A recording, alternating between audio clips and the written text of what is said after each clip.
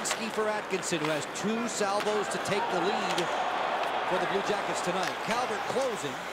An easy stop for Holtby from the angle. Whoa, Connor Carrick throwing punches with Calvert. Yep. Well, that it all started at the rush to the net. Now they're lowering and getting some good shots in. Cannot be fun to punch a face shield. Nope.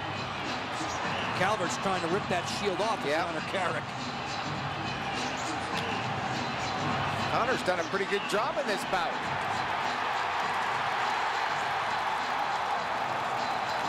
Threw one late there. First fight in the NHL Yes. for Connor. Linesman Amell and Civic to separate. That headgear is going to need some repair for both men.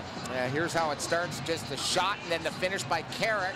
Right on Calvert in the corner. And then some pushing and shoving right there. Back and forth they go. Both guys should go off for coincidental major penalties here in the third period.